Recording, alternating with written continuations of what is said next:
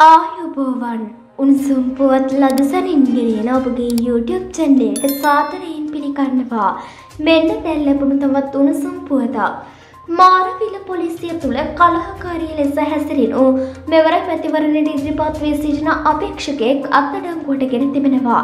පුත්තලම දිස්ත්‍රික්ක ස්වාධීන කණ්ඩායම් දෙකෙහි අපේක්ෂකයෙක් මෙලෙස අත්අඩංගුවට ගෙන ඇති බවයි පොලිසිය සඳහන් කළේ. මෙලෙස අත්අඩංගුවට ගෙන ඇත්තේ කටුනේරිය ලාසිකම ප්‍රදේශයේ පදිංචි අයෙක්.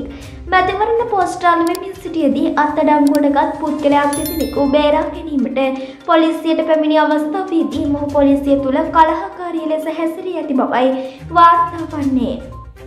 එම මැතිවරණ අපේක්ෂකයා විසින් පොලිසි ස්ථානාධිපතිවරයාට බැනවැතිමින් එහි මේසේ මත තිබූ පොත්පත් විසිකර කලහකාරී ලෙස හැසිරෙනු බවයි වැඩිදුරටත් තොරතුරු වාර්තා වුණේ. මෙවැනි උණුසුම් පුවත් ලදසනින් දැනගැනීම සඳහා අපගේ YouTube චැනලය සබස්ක්‍රයිබ් කර බෙල් අයිකනය ක්‍රියාත්මක කරන්න. ඔබට සුබ දවසක්.